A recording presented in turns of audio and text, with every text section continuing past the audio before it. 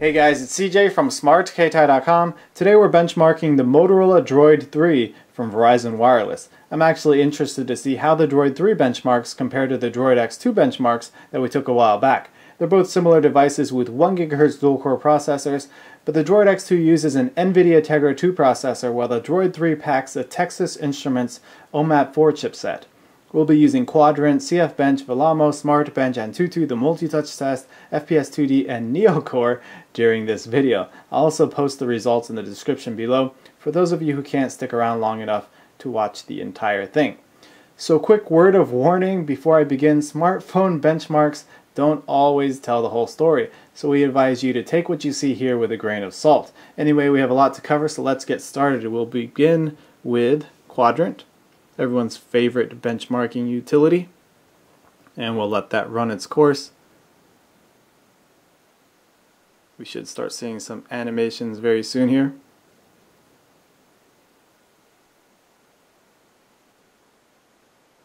Alright, there we go. And here's that famous hallway. Turn left. Go up the stairs. As you can see, it's buttery smooth here.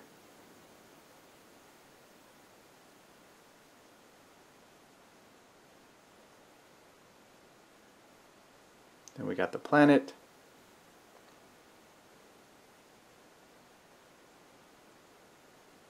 And the DNA. And that should wrap it up for this test. Let's check out the results. Alright, so let's zoom in on this to see what we got here. Looks like it's at 2,537. I'm not sure if you can see that very clearly, but 2,537. Below that we have the Nexus 1, uh, the Droid X, uh, the HTC Evo, the original, and the original Galaxy S down there. So none of the dual core processors are on this list, but you can see uh, the difference between single core and dual core. Alright, so let's move on to the next test. We'll go with CF Bench.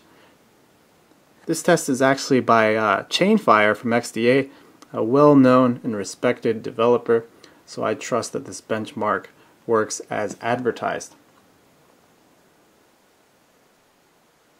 Now this one takes a while, so I'll probably just skip through this and show you the results. Alright, and we're back. I actually received a call during that last benchmark, so I had to restart, but now we're good to go. CF Bench is done doing its thing again. So here are the results. You can see there are a bunch of things listed here. We won't go through all of those, what we're interested in are the three scores at the bottom. Alright, so we have our native score, which is 9,549, and then a Java score of 1,881, and then an overall score of 4,948. So let's zoom in on that real quick. So some pretty decent scores there. You can see it compared down here with some other devices. Droid 3 over here, Nexus S below that, and then we have the Atrix, uh, Sensation, and Galaxy S2 above that. Alright, so let's move on to the next one. Okay, so let's go with Smart Bench next. This is the 2011 version. So we'll run that. Let it calculate. Alright, and here we start getting these animations.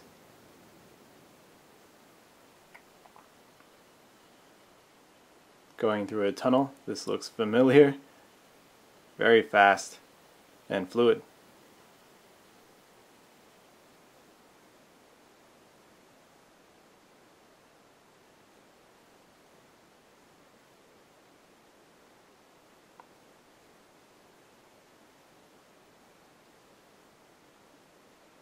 Alright, it looks like it's done. And let's display those scores.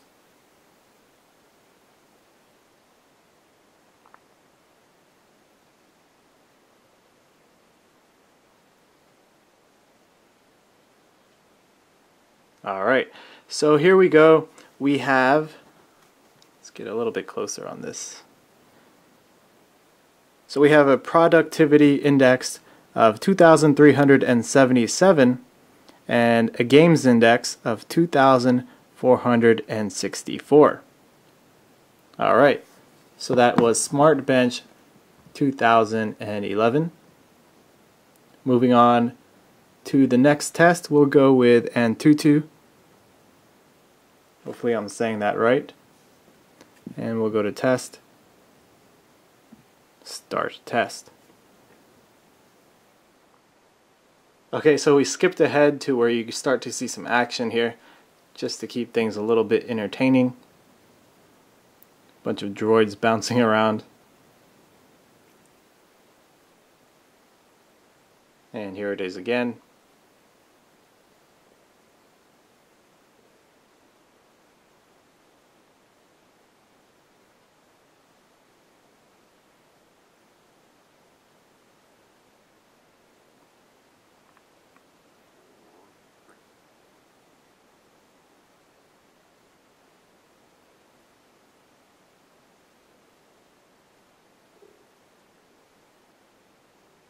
And then we have a warrior striking repetitively in the air. Zoom in a little bit closer on that. Alright, and we're done. So as you can see here, we have a total score of 4,906. And if we go to the score chart, we can compare that. So here's the Droid 3 right here, right above the Zoom, and below the Optimus 2X and Galaxy S2 so it's up there in the charts. Jump back and now we'll go with Vellamo. Now this one's interesting because this actually tests the uh, web browsing performance. So it's unlike the other uh, benchmarking utilities out there. So let that load up. Here's a butterfly. And here's another one, multicolored. Now this test takes a while, so through the magic of editing, I'm going to jump forward again.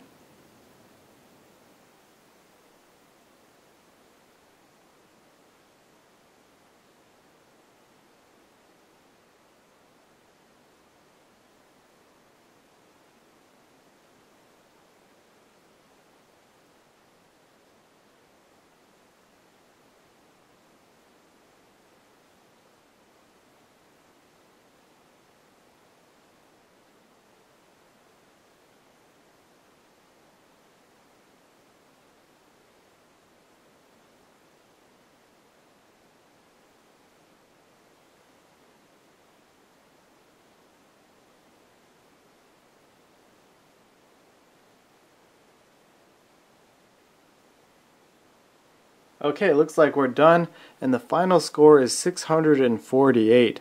I actually ran this earlier and it scored 677, so I'm not sure what went on there. But we'll go ahead and check out the graph to compare.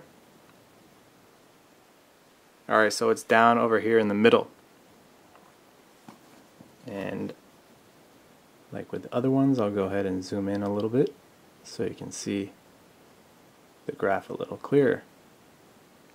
Alright, so let's jump back again and we'll go to FPS 2D. This one's always a simple little test uh, to check out the frames per second with 2D graphics. And it looks like it's capping out at 60 frames per second.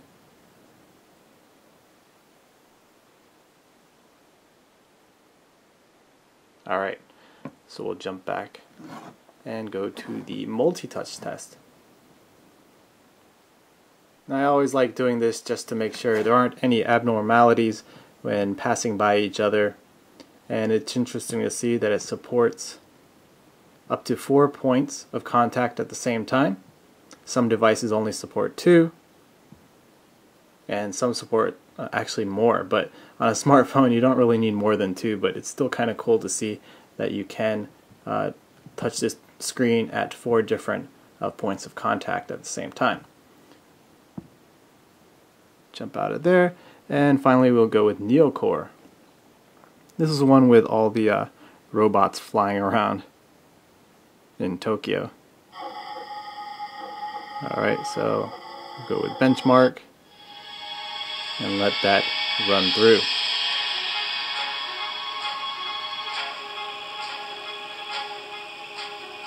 Here come the tanks.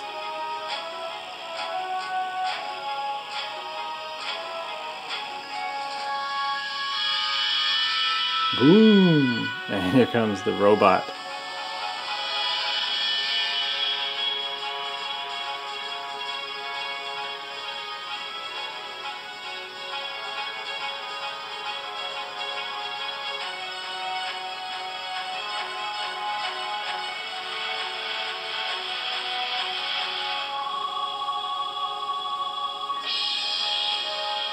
Alright, it should be wrapping up, and we get a score of 56.7. So I'm sure it's going to get 56, 57, 58 uh, every time you run it. So we'll exit out of there. So this was the Motorola Droid 3 being tested with a number of benchmarking utilities. If you enjoyed this video, please give it a thumbs up and subscribe to our YouTube channel. Be sure to check out our Droid 3 unboxing and gaming videos as well. Thanks for watching and stay tuned for more Android coverage at smartkeitai.com.